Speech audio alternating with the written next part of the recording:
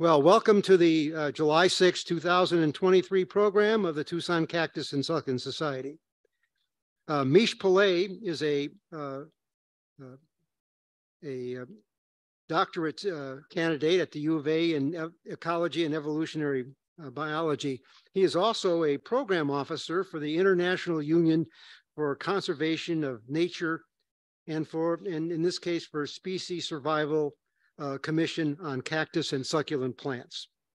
His subject tonight is, is most important to the future of cactaceae, especially in the light, uh, as you've seen, that the Earth has experienced the three hottest days in the last 125,000 uh, years. Uh, and I can verify that, I was there. Um, his, uh, his program tonight is entitled Common Sense Cactus Conservation in the 21st uh, century. So please welcome Mish Pillet. Mish? Um, thanks very much for having me. I live in Tucson, and even though I do give uh, talks in other places, it's always really nice to uh, do it here at the home base. And uh, the Tucson Cactus Club is really a model society for cactus and succulent clubs everywhere. So, so the last time I spoke was about last year sometime about the impacts of climate change on cacti. And so that was really highlighting the problem that we're facing, how poorly cacti and also other succulents are doing in the wild. And that's all good, but we need a solution, right? We need to do something about it. And so that's what this talk is about really today. So we're initially going to go over some of the biggest threats to cacti. I'm going to keep that relatively short. And then we're going to be talking about how conservation is done and how conservation has to change if we want to be successful at keeping these plants that we all love um, alive. And when you ask a random person on the street where a cactus likes to live, then that's probably what they would say um, in terms of like the expectations. Higher temperatures, lower rainfall. And all of these colored blocks, these colored shapes on this graph are different uh, biomes that we artificially classify. So we've got tundra, we've got tropical rainforest, and so on. And there's only one shape where cacti are missing. And that's all the way at the bottom in very dry deserts, um, well, low temperature deserts. So specifically the tundra. Low precipitation, but also really low, low rainfall. That's the only biome on Earth that we have not found cacti in. So You'll even see cacti all the way uh, at the top right there with really, really high levels of rainfall and high temperatures. So there are cacti in tropical rainforests. If you go down to the Florida Keys on vacation, there's even some columnar cacti there hidden away. So a very wide variety of growth forms. And so that wide variety of growth forms explains partially why cacti are found in all of these environments. So we've got little globular cacti like this uh, Mammillaria herrerae, Astrophytum asterias from Texas. We've got hedgehog cacti such as the Echinocereus reichenbachii. We've got prickly pears in the Galapagos like this Opuntia echios. We've got little shrubby cacti like Borzicactus samaipatanus uh, columnar cacti like Micranthus alvinii from Brazil, Cereus childsii, and we have no idea where that plant comes from in the wild, which also is actually the case for aloe vera. So you all know aloe vera. We suspect it originally came from India somewhere, if I remember correctly, but it's never been found. Same thing is true for peanut cactus, by the way. Very common cactus. Peanut cactus, no idea. Then this is Quiabentia verticillata, another Brazilian species, I believe, um, which still retains true leaves. Very nasty spines on that one. So cacti are some of the most threatened organisms on the face of the planet. They're more threatened than mammals and birds. And that's saying something. 31% of species are considered threatened by the International Union for Conservation of Nature. So when you, if you've heard the words red list or if you've heard people describing a species as uh, vulnerable or endangered or critically endangered, It's the IUCN, uh, the red list specifically, that does that classification. So they've got different groups or different uh, types of organisms, and I work for the cactus and succulent group. Top of that, a large fraction of species are also located outside of protected areas. So there's no protections in place for the majority of cacti. So these are the different threats according to the IUCN back in 2015. At the very top, on the left-hand side, you've got agriculture and, uh, and aquaculture. Surprisingly, there's a species threatened by shrimp farming in Baja. Then you've got biological resource use, which also includes poaching. We'll be talking about that quite a bit today. Then you've got development, invasive species, and so on. Habitat destruction is the main one, though. But last year, um, me and my collaborators published a paper that showed that the most important threat is probably going to be climate change, which I've talked here uh, about before. 60% of species of cacti are estimated to be negatively affected by climate change. But back in 2015, when we knew very little about climate change impacts, it was ranked all the way at the bottom. So now, if we go with the estimate of 60%, it should be all the way over there. So when species are exposed to climate change, there's a few options. One would be to adapt. Evolutionary changes, those are typically slow. They, uh, they take place across many generations. Another one is going extinct. You can't adapt quickly enough, and you can go extinct. Or you can try to move across the landscape, so migrate to keep up with favorable conditions. That's another option. And so that's what my research is about for the most part, where I built these very simple models, statistical models, that take information on where species are, so all those black dots from that graph earlier. Um, and then I combine those occurrences, as we call them, with the climate and geology um, of those regions. So you can see some points there, the black lines. Those are located on a specific spot in the landscape associated with uh, specific climate conditions. A statistical model. And then, along with climate change projections for the future, we can predict where those species might want to go in the future. And then we can see, well, are they going to be shrinking in their distribution or are they going to be expanding? So it's really simple what I do. Our results were that 60% of species, like I said, are projected to lose part of their range under climate change.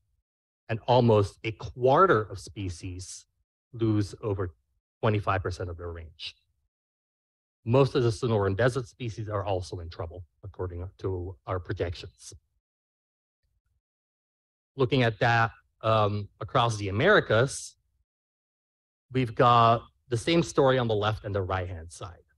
So all of the areas that are blue or light blue are areas where we expect to see an increase in the number of cactus species.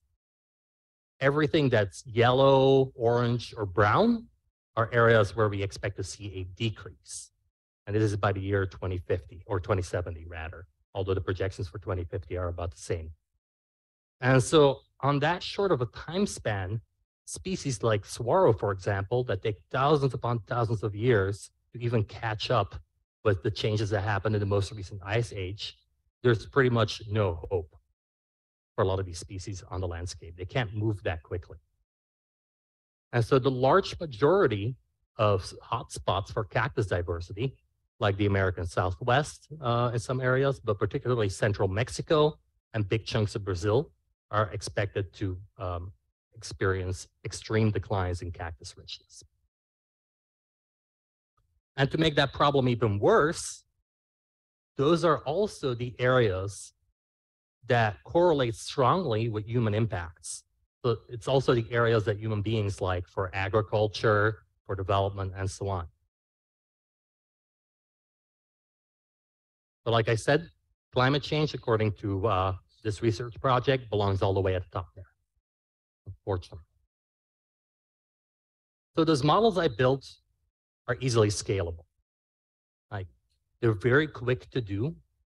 They don't cost a lot of money. They just need someone like me sitting in front of the computer with uh, maybe a TV show op open on the other screen while I'm doing uh, some science. Um, I'm just joking. So they're easy to build, but we still need those data of where species occur in the wild. And so the database I currently use is called BIEN. It's run by the University of Arizona. But the problem is, is that over a third of plant species are rare. And it's also the rare ones that are disproportionately affected by climate change. And for those rare species, typically we don't have enough data on where they occur to build these models, or they occur in such a small area that we simply can't build those models.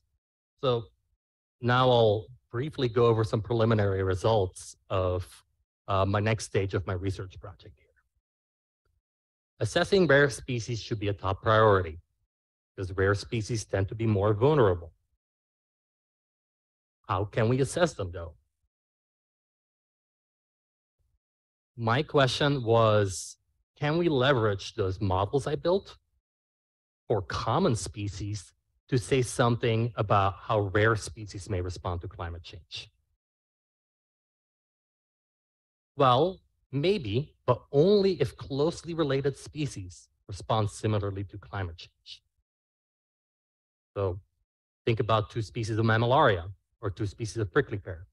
Do they respond in the same way to climate change? So don't get overwhelmed. This is an evolutionary tree for the mammilloid clade, which includes things like Mammillaria and Cochemiea, some Escobaria, Coryphanthus, and so on, uh, from Baja. This study was conducted by Peter Breslin, one of the authors of the field guide. And he was kind enough to share this evolutionary tree with, uh, with me. So I cleaned it up a little bit for species that I have enough data for, but we started out with 89 species. And so species that are close together on an evolutionary tree are more, more closely related. That's how you can uh, pretty much interpret them. So let's look at that specific group specifically. Let me go over some of the species that are, um, are part of that group. First is Pelecyphora tuberculosa. There I photographed it near Shafter, Texas. And according to my models, that one will do fine under climate change. It'll actually increase, increase in distribution by 15%. It's also classified as least concern not a threatened species. We also have Pelecyphora alversonii, here from a photograph near Blythe, California. Another one that's virtually unaffected by climate change.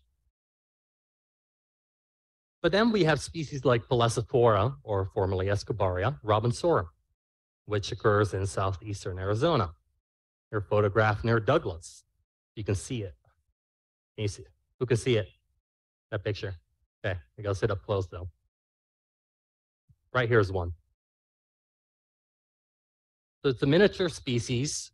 Um, it's very limited in its distribution, and I can't build a model for it. So I don't know how it's going to respond to climate change. But it's already classified as vulnerable according to the IUCN Red List. So now with the cleaned up evolutionary tree, what I did is I added all my model results to that tree. And all the green bars correspond to species that do, will do well under climate change. All the red bars are species that won't do well under climate change. So what we're looking for is a pattern. Do closely related species respond similarly? And you'll have to take my word for it um, from a statistics uh, point of view, but we do not see a pattern.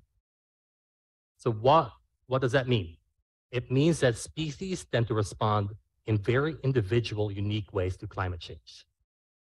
Problematic. So that's the situation when it comes to cacti in the wild. Lots of problems, not a lot of solutions. So how do we approach conservation nowadays? This is what's called the one plan approach. And the one plan approach integrates or attempts to integrate two distinct aspects of conservation that are typically done in isolation. When you hear the word conservation, probably your mind will go to protecting natural habitat. It'll go to releasing turtles Nothing against turtles, love them. Uh, everything out in the wild. That's called in situ conservation. Right there. Now, what I do uh, for the most part is ex situ conservation. So ex situ conservation is what zoos do, and often botanical gardens as well. So they have captive breeding programs. And sometimes uh, offspring from those captive breeding programs are released into the wild. That's ex situ. But in situ and ex situ conservation are very, very often done in isolation. The two groups don't even talk to each other.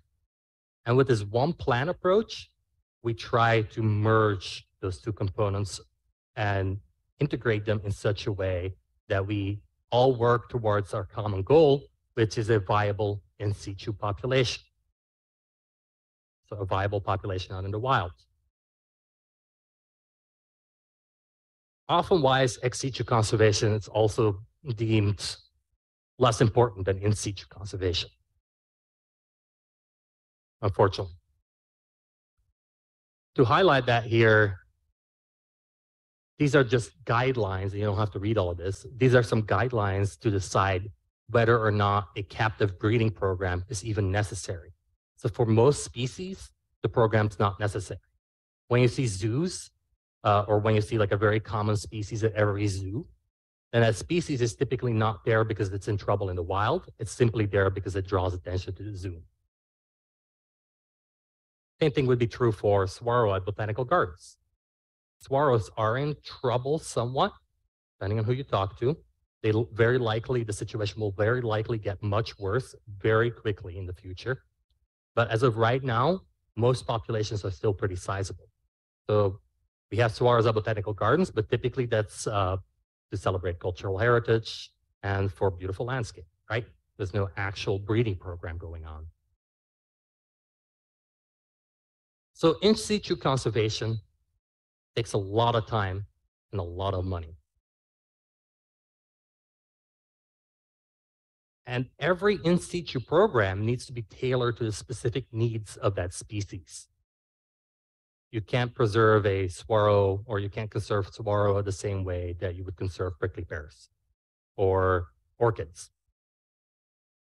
There's also a relatively high chance of failure. So let's look at Pima pineapple cactus over here, photographed near Green Valley. Um, so looking at transplanted plants specifically, it was found in a master's or PhD thesis in 2017 that for plants that were planted back out into the wild after relocating them, there was about 30% mortality. Whereas the plants that were not reintroduced into nature, mortality was around 2%.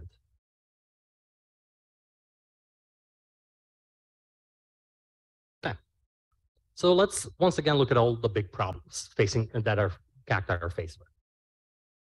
Agriculture, development, energy production, road building, all of those issues require local to national intervention. Right? It's not an international problem typically. The solutions have to come at the local level. So this is uh, Aruba, and See in the background there, according to my, my friend who lives over there, there's a water park. And that water park goes straight through very rare Pilosocereus and melocactus habitat. That's what that area used to look like. An example of development, right? As you know, like I just said, requires a lot of time and a lot of money to do in situ um, conservation. One of the most successful programs that I know of is the TCSS rescue program, period. I cannot think of a single other succulent organization in the world that does more actual work, not just words, than TCSS. Let's look at biological resource use. So that could be native peoples uh, harvesting um, certain fruits, like saguaro, for example. But more importantly, it also includes things like poaching. this is a confiscated shipment of Ariocarpus kotschoubeyanus from uh, San Luis Potosi. Um, that was intercepted coming into the US. About 500 plants, all dug up from the wild, and very little chance. Well, we don't really know exactly where they came from, so we can't go plant it back into the ground. So, very costly problem, but they'll probably all go back to San Luis Potosi eventually. The problem of poaching in the succulent world is absolutely crazy. It's getting even more out of hand every day. Pretty much every show that I've gone to, every cactus and succulent show that I've gone to in my entire life has had at least one questionable plant that might have come out of the wild. Now, that doesn't mean that that plant was obtained illegally. It could simply be someone buying a collection from someone else, an older collector from before CITES. Or in very rare ca cases, it could just look like a plant in the wild. But the problem is absolutely awful.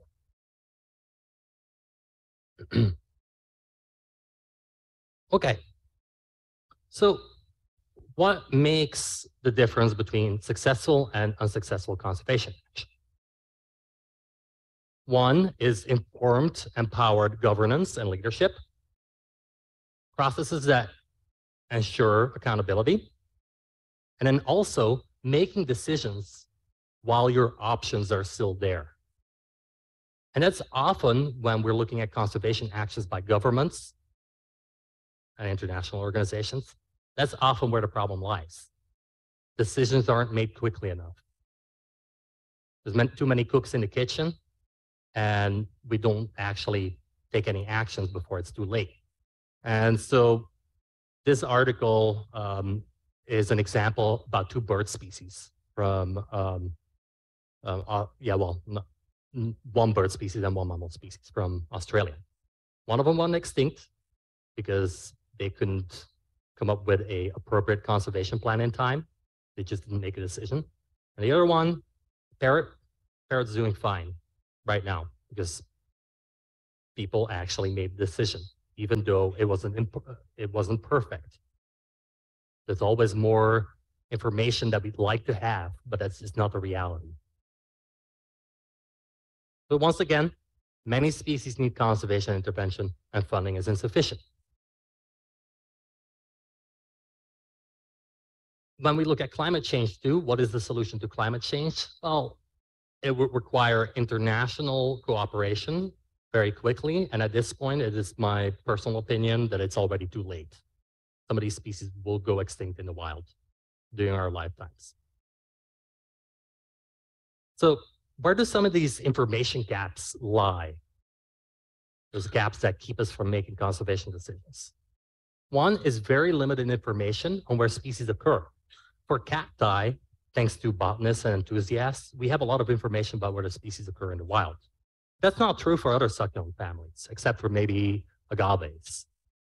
Um, for most asclepiads or stapeliads, there's very few observations of where they come from. And one thing you can do as an individual is use an app like iNaturalist. So iNaturalist is an app you can download onto your phone. And when you're out on a hike or something like that and you see a cool plant, you can add the observation onto iNaturalist.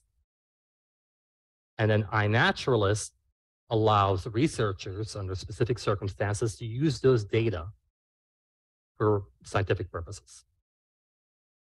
So unfortunately, iNaturalist isn't that great about sharing data with researchers in a lot of cases. Um, otherwise, I would have distribution models for the majority of cacti at this point. Um, but it is, it is a good idea to do if you're out in the wild. And also data that on the threats that species face in the wild. Is this Estevesia alexbragae from uh, Brazil. Um, at one point, it was considered extinct and it was just rediscovered a little whiles ago.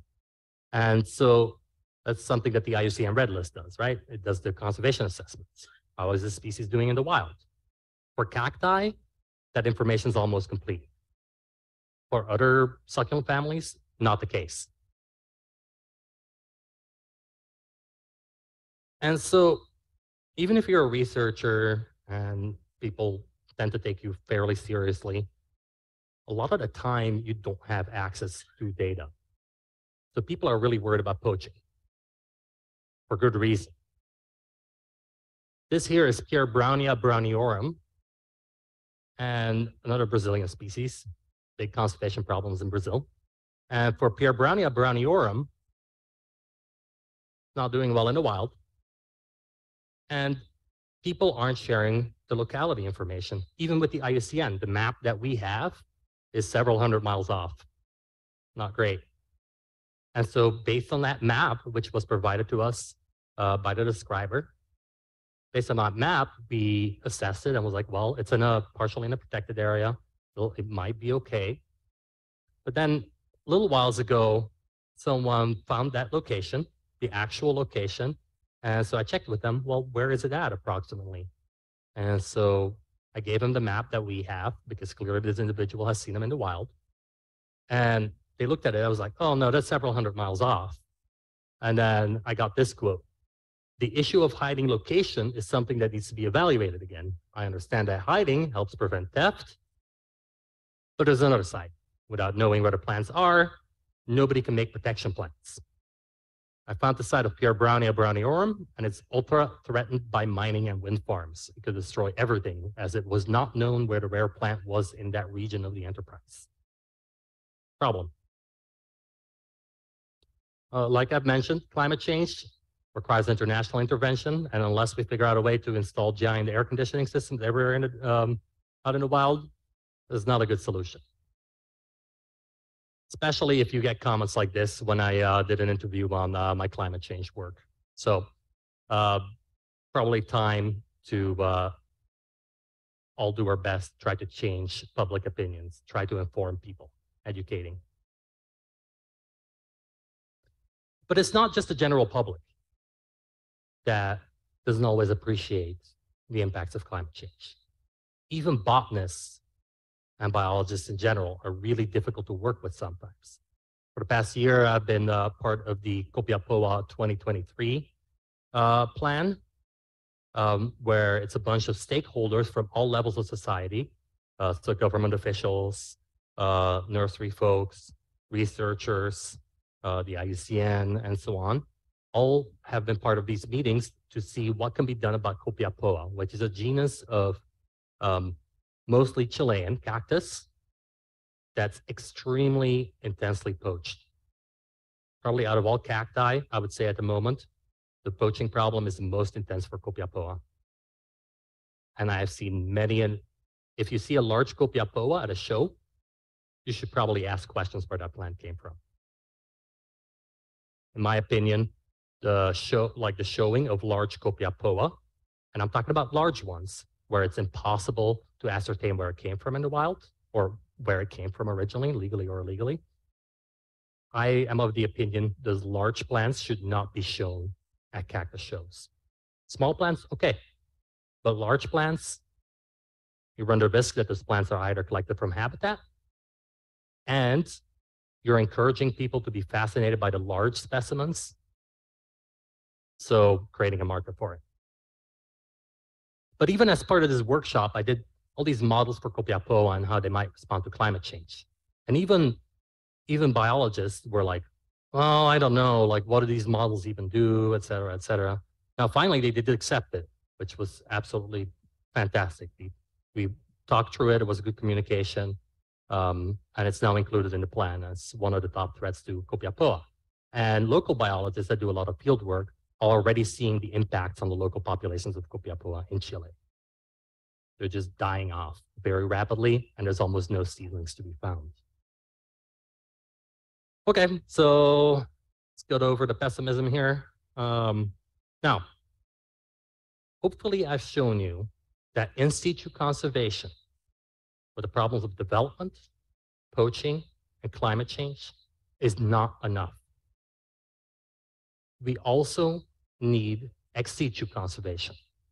It's not a separate activity and it shouldn't be underappreciated compared to in situ conservation. Ex situ conservation, especially for plants where there's fewer ethical issues involved than with animals, can be very quick And for plants, doesn't take up a lot of space. And in a lot of cases, it can be done without harming the natural population or what's left of it. Researchers and managers should facilitate ex situ efforts in any research project. Often it's not done at all. There's Monvillea estevesii, one of three cactus species that might be extinct. So that species was described by, if I remember correctly, Pierre Braun, named after Eddie Esteves. They kind of went back and forth when they were naming species. So there's like half a dozen species called braunii and half a dozen species called estevesii. Probably not the best thing to do, but that was back in the day. And so getting an export permit out of Brazil is really, really difficult, especially if you're not native. Even if you're a researcher, and I've, there's a lab in my department on the campus that does a lot of Brazilian field work, they can't get export permits a lot of time, even for like dry leaves. Um, for cacti, it's nearly impossible. And some of the most threatened species are found in Brazil. So in the case of this species, no way to get an export permit when it was described. And so someone, most, most likely one of the original describers or someone that was with them, did manage to smuggle a few seeds out of Brazil. Technically, that's poaching, right? Now, when that happens, and it does happen all the time, seeds are smuggled out of the country of origin. And in a lot of cases, the folks that do that, especially if they're serious uh, when it comes to conservation and research, they do want those plants to go to botanical gardens and so on. But botanical gardens will be like, oh, where'd you get those? We can't touch that unless there's like proper permits. So in this case, the seed ended up in Malta in the Mediterranean. And the one person that had them threw them out in the greenhouse and wasn't, I don't know why he wasn't sharing them. Uh, but in the end, a hailstorm hit and destroyed the only known cultivated specimens of the species. And the habitat of the species, when you look at it on satellite map, well, the IUCN assessment is out of date. The IUCN assessment said might be extinct in a few years. The satellite map from the on, only known location right now is pure agricultural fields. Might be somewhere else, but the original population is 100% gone.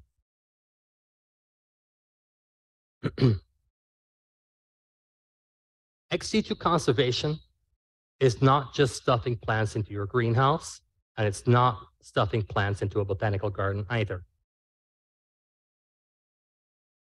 This is Rhipsalis triangularis. And so Rhipsalis triangularis, when it was described, also from Brazil, near uh, Rio de Janeiro, the cool lithophytic or epiphytic cacti, kind of grows in trees and so on. Um, so this species was described in the early 20th century, was deposited into an herbarium somewhere in Brazil. And as happened uh, with a lot of species during World War II, um, when Germany was bombed, a lot of uh, specimens, very important specimens, were completely destroyed. If you've ever seen Jurassic Park 3, there's this big dinosaur with like a sail on its back, right? And so that one was discovered in Egypt and went to the Berlin Natural History Museum. And during World War II, the only known individual of that species, um, that fossil was completely destroyed. It was only like several decades later that they found it again. That's what might have happened to Rhipsalis triangularis. For a while there, it looked like it might have been extinct in the wild. But luckily, recently it was found again, like a few plants in uh, a municipal garden in um, Rio de Janeiro. It's also in cultivation now. It's great.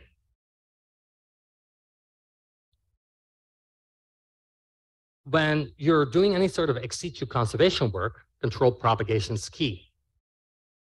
Here's number two out of the three possibly extinct cacti.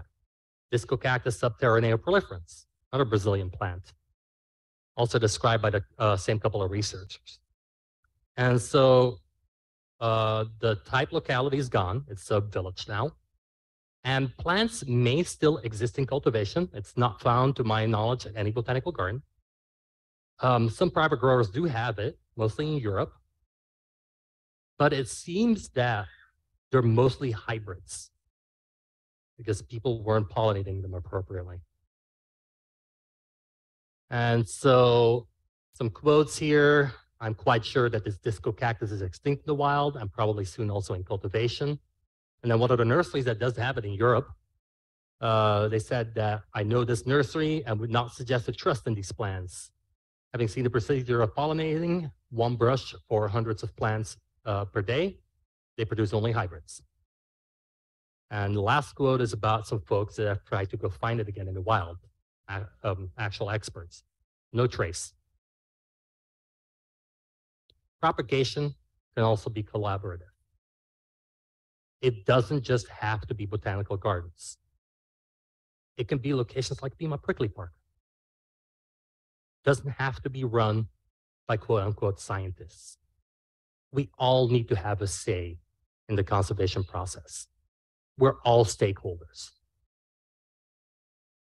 It's not just researchers, not just botanical gardens, not just academics, government officials, general public, cactus growers, industry. All of these groups should have a say in what happens. They're, these plants are all of our cultural heritage, not just for a select few. So we should all be able to enjoy them. And so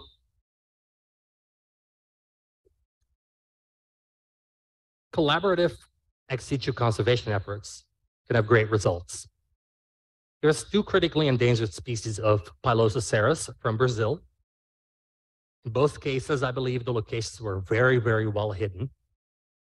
Luckily, someone ended up finding them again and um, managed to get fruit properly exported, surprisingly. Um, and these are being grown um, in several places in the US now, including at my nursery. So a bunch of seeds were shipped over to me. And so the babies grew up, and a bunch of them have gone to the Huntington Botanical Gardens for their conservation program over there now. And so when botanical gardens and these institutions are willing to collaborate on these projects, we have a much greater chance of success than of it's just botanical gardens. Because when you look at some of these places, they're very, very short on staff, right? Very unfortunate. And I'm not blaming botanical gardens. I'm just blaming the general conservation problem. Not enough funding, not enough people, not enough time.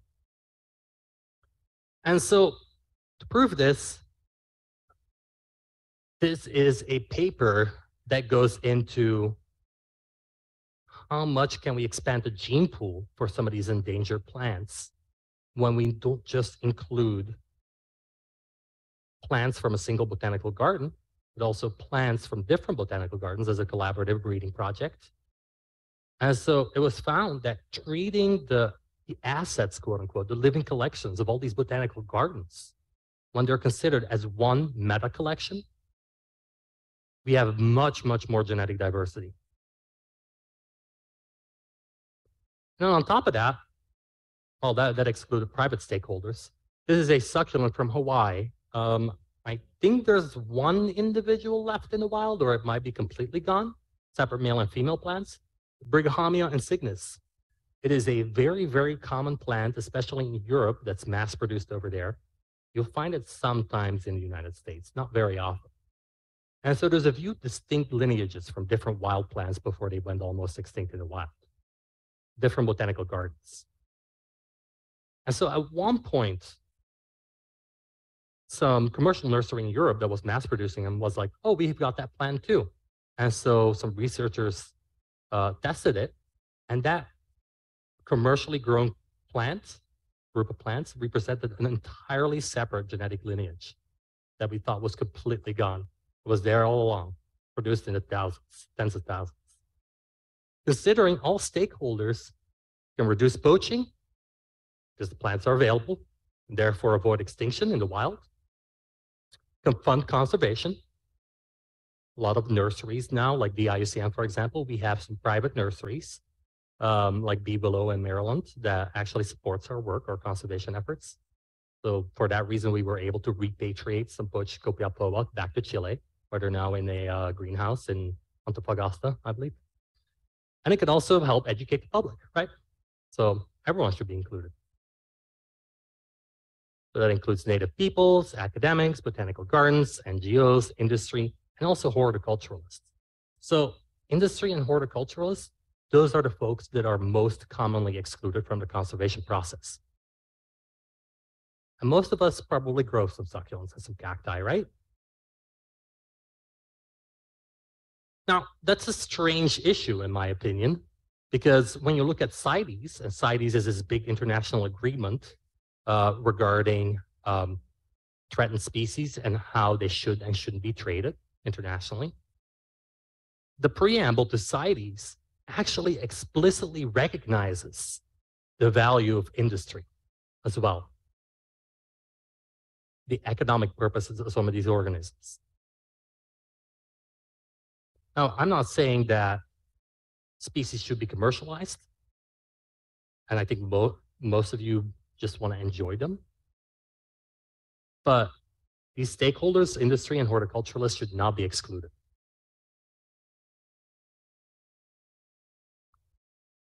That problem of excluding horticulturalists and amateur botanists, I call that the ivory tower of cactology. And there's many more amateur botanists and horticulturalists out there with many, many more plants than all the botanical gardens in the world put together. And we have, and I kind of belong to both worlds. But the quote unquote amateur botanists, they probably together have way more knowledge about these plants in the wild than uh, the experts do the researchers, except for like in the case of a few species, maybe. And most horticulturalists, most amateurs, quote unquote, care about conservation. So we're in it for the same purpose, right? We all want to enjoy these plants for one reason or another. So we need to break down that tower. One, one of the ways we can do this is by developing new tools. This is Botanic Gardens Conservation International uh, Plant Search. And Plant Search is a database that botanical gardens can sign up for and share what they have in their collections. And then other members can request species or more information from other botanical gardens. Private growers are excluded from this. Okay, fair enough. I know like there's probably quite a few people in here that have plants that are not found in any botanical garden worldwide and would be happy to share material. So we need to work on tools like that. But it's a two-way street. Requires efforts from both parties. When we're talking about taxonomy and plant naming, for example, you'll hear a lot of folks just grumbling. I'll be like, oh, I don't want to change my labels and I'll call it whatever you want. You know, I just think it's pretty. And that's fine. You know, enjoy your plants for whatever purpose you want. But then don't be surprised if you're not serious about keeping track about what you have. Uh, is that you know collaboration with like a botanical garden or researchers is impossible. So the next issue of the National uh, Cactus and Succulent uh, Journal will have an article about keeping data uh, written by my friend Tristan and I. Uh, so take a look at that. Maintaining data on where you got your plants from, what their names are, um, any sort of notes. It can help you notice patterns. Be like, huh, my favorite plant last year, it flowered in May, and now it's flowering in June. And it's been progressively getting later and later in the year. Those types of information are actually very valuable. Now, if you have that information at home, great. But once, hopefully one day, we get the tools to all share that information together for like platforms like uh, Plant Search that I just showed you, or iNaturalist, and that information will be very, very useful. You care about taxonomy, once again, there's Cactaceae at caryophyllales.org. Um, definitely check that out if you're curious about the most recent names of the species.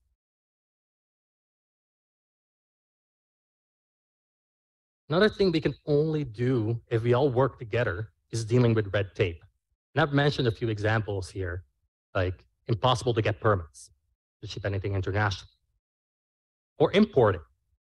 So with the exit of the United Kingdom from the European Union, uh, they now came up with a system called the plant passport. And it is really darn hard to get any plants shipped internationally uh, for the UK now. Really hard. For us in the US, it's also really difficult and the process is really intricate. And asking questions, well, USDA is very understaffed. Let's put it that way. So figuring out these permits and so on, even though there's a free permit to import seed, cactus seed into the US, it's really difficult to figure out for folks. So lots of red tape, right? Here's some quotes. Um, they are so strict here when you import cacti, they actually seize it if you can't show phyto certificates, all for protecting wild cacti. That same department allowed continuous destruction of our own local cacti for condominiums we don't need. Another one, I ordered Pilosocereus seeds from the Netherlands that came with a plant passport, so their actual legal process. Customs seized it and destroyed it to fight illegal poaching. They don't know what the EU plant passport is, even though they're part of the EU, the country in question. Um, but it's okay to remove 80 year old uh, columnars to build a boutique hotel on a hill and call it an eco retreat. A lot of red tape, right? International trade has become so difficult and expensive, when done properly at least, that it affects private and commercial growers as well as conservation professionals. I've talked to individuals at multiple botanical gardens that have stopped any sort of international trade with other botanical gardens because they can't even get the permits themselves anymore. That stands in the way of conservation. Maybe the initial idea, stopping international poaching and trade, a great one, but it doesn't work for plants. And so that's even resulted in problems for like private sellers. Like um, technically on Etsy, if you're familiar with that platform, you cannot sell any CITES species on Etsy at all, which technically means 99% of all cacti cannot be sold on, uh, on Etsy. eBay has started banning Trichocereus and all CITES 1 and 2 appendix species, even if they're grown uh, very clearly in cultivation. Like Ariocarpus, you can't mention that word on eBay anymore, all because they're so worried about all this international legislation that makes absolutely no sense. Another problem is plant nationalism. On the left-hand side is the list of species in Appendix 1 of CITES, highest classification. supposed to be some of the most poached and endangered species. And then in Appendix 2, you have the rest of cacti, so still a lot of protections. There's an exception for seeds. So seeds you should still be able to do without CITES permits. Except, and this is the exception to the exception, if there are species from Mexico. And so it's the individual countries part of CITES that propose what species should be a part of CITES. And most of the time, it doesn't actually acknowledge the reality of conservation. A lot of Mexican species are not endangered at all, but they just want to keep their species that only grow in Mexico, their species. So even researchers that do work in Mexico in some cases, good luck getting plants back even for an original description into the United States. Nationalism makes conservation more difficult, and plants know no borders. Once again, here's all those poached plants from earlier.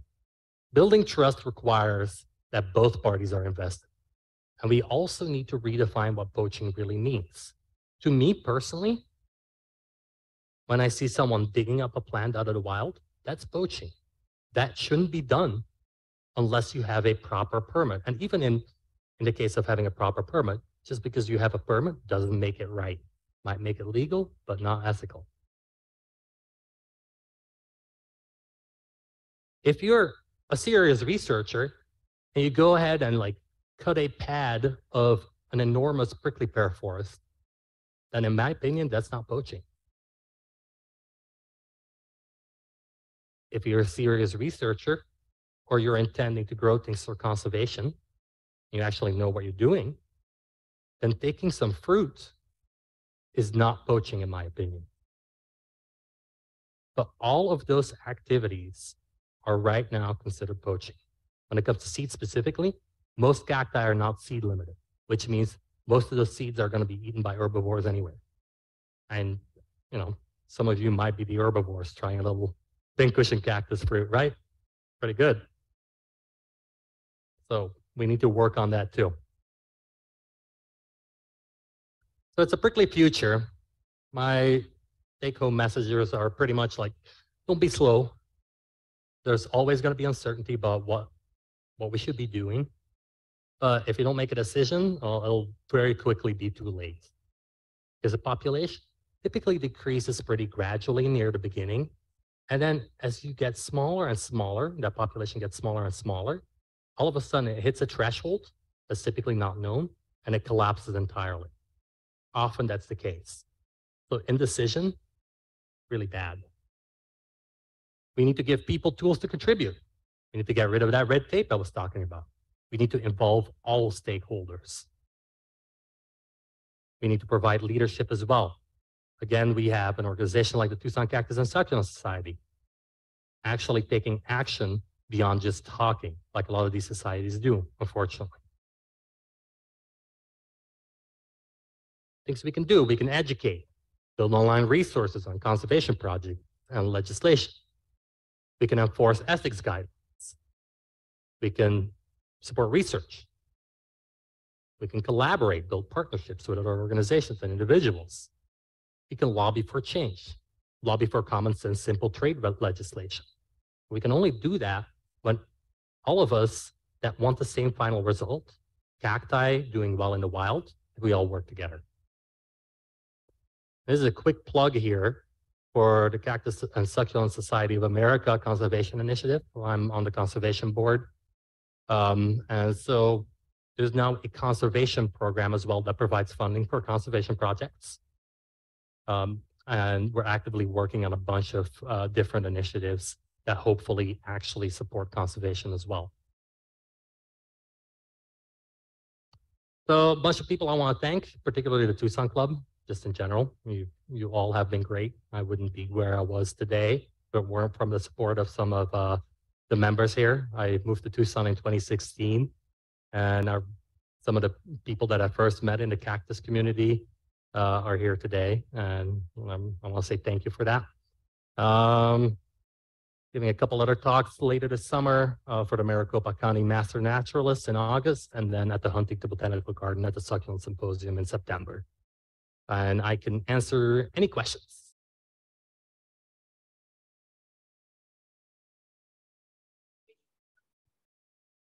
I'm interested to know whether you are using the Biosphere 2 for any of your research or conservation work. And if not, why isn't that being broadcast through the biosphere 2 which unfortunately just seems like it is not giving any any good information for other than just look looky see kind of you know look at these neat buildings. The other question that i have is um, in trying to duplicate conditions such as the brazilian Dyckia what kind of reference or website would you recommend so that we can get much more specific about soil science, um, humidity levels, seasonal changes, and the potential for um, climate change that these plants can withstand. I live in Oracle, and so I'm constantly dealing with, well, I can't have any of those plants because I will freeze them to death. But um, I'm thinking that with climate change, some of that may become more possible for me to grow, sadly. Thank you. So, uh, first part, unfortunately, I have to agree with what you're saying. Um, some people in my department not focused on cacti, they do do some research at Biosphere. Um, I'm not terribly familiar with Biosphere. I've only gone a few times. Uh, but yeah, it's a very pretty place. And that's pretty much it. Don't tell anyone. Um, at least when it comes to cacti and succulents. And I've never spoken to anyone over there in charge, uh, able to make decisions. Um, but I doubt that there's much of an avenue for conducting research or conservation work there. But you also have to think about these organizations. They have to, they need funding, right? So, and most of that funding is going to come from people wanting to visit, people wanting to just look at pretty plants and pretty buildings and so on. And I'm not, I'm talking about all of these organizations, zoos, botanical gardens, things, places like Biosphere. So that's where the money has to come from. That's the unfortunate reality. That's part one. Part two, uh, where can we learn more about some of the things that these plants require and the potential impacts of climate change? Right now, there's pretty much no platform where you can get all that information in a centralized way. So what the IUCN is hoping to do, and we're working on a draft document right now, to actually include the climate change projections and the maps as part of the assessments. If you look up IUCN Red List, you'll find all these conservation assessments. Most of the time, there, there might be a map associated with them, but not a lot of information about climate change and soils and so on.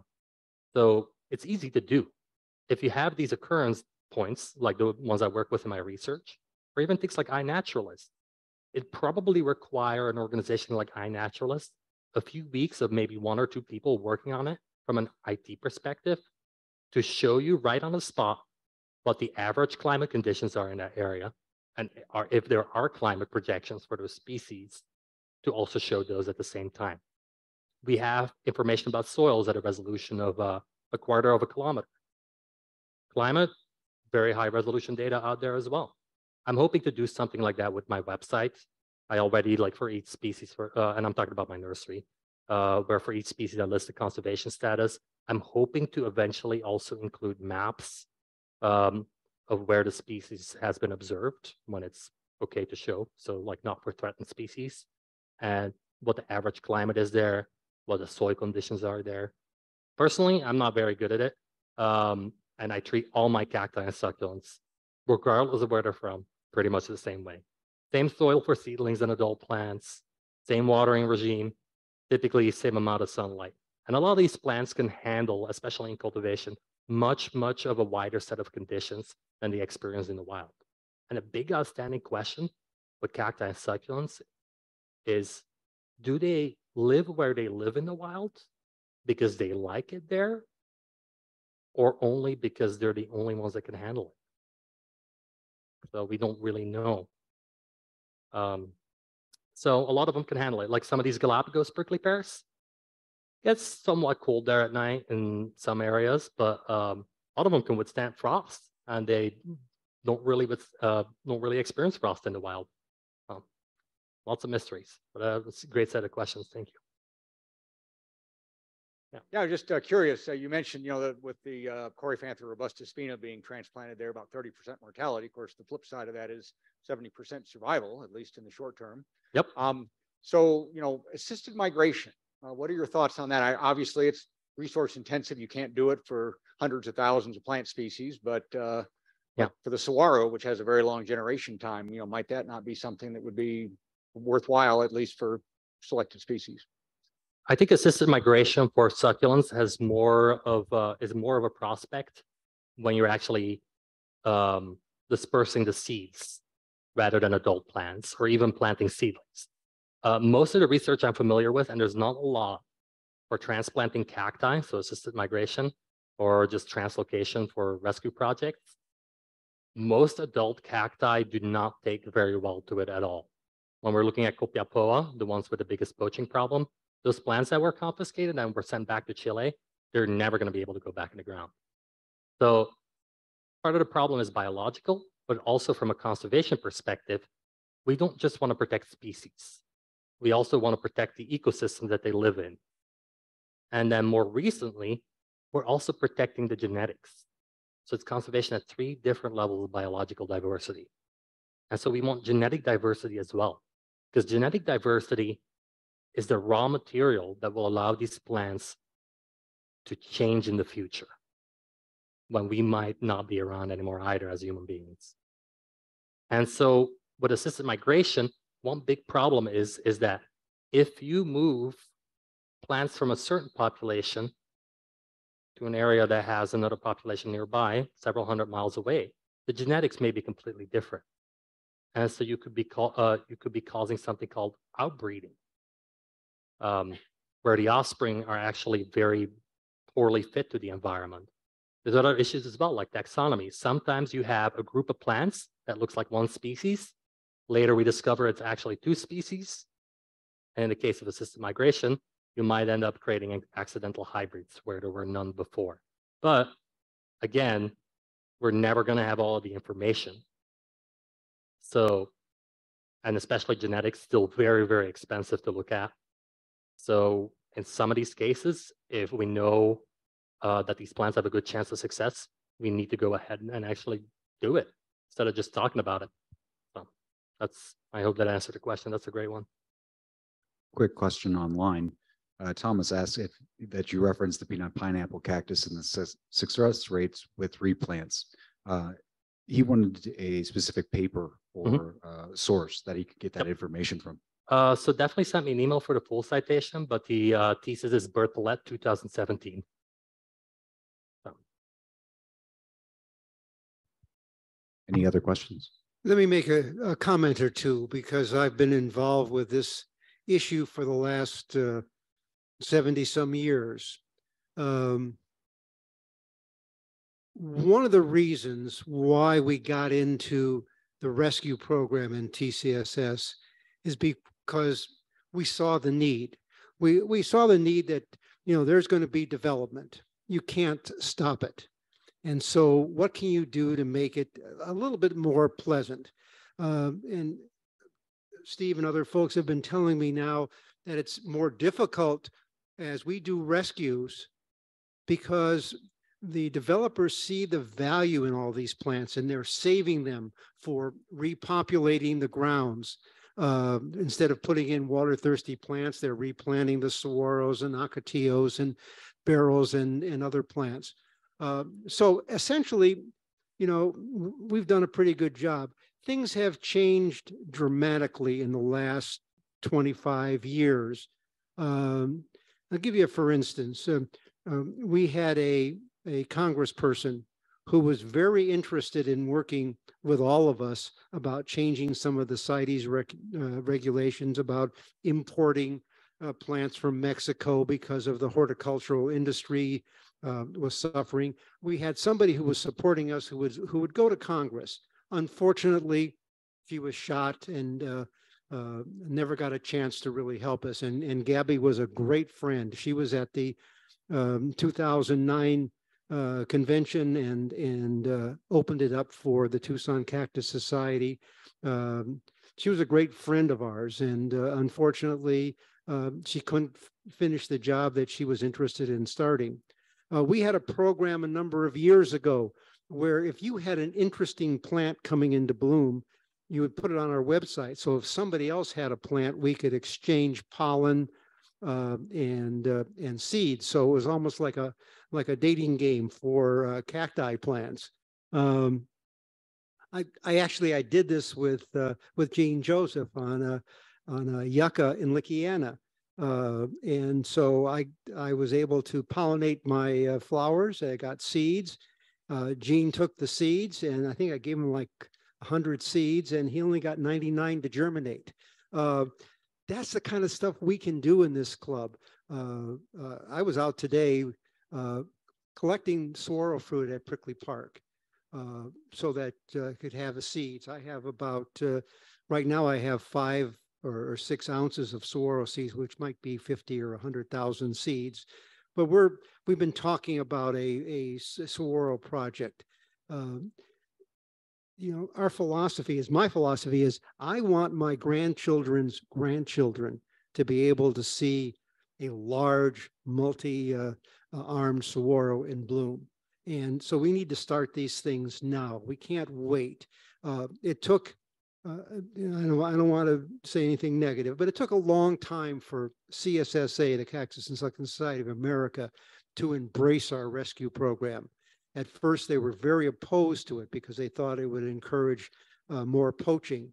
Uh, instead of seeing the, the positives and how 130,000 plants later that we've saved, and most of them have done well in, in, uh, and being transplanted. And we're learning a great deal and we're passing that on to all of our members on how to transplant these plants.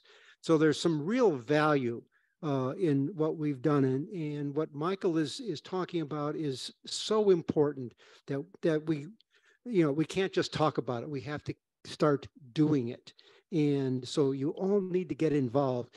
Unfortunately, uh, there's been a lot of great collectors and growers 30, 40, 50 years ago before CITES that were going down to Mexico and South America and bringing back all these plants in their collection.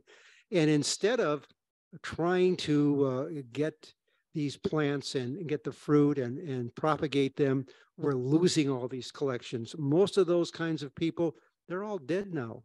Uh, you know, they're 10, 15, 20 years older than me and we've lost their collection. And that's that's unfortunate thing. We have to stop doing that. We have to take advantage of what's out there, and we need we need all of you to let us know what you have so that we can help preserve these plants. I didn't mean to take up your space. Michael, this was great. Thank you so much.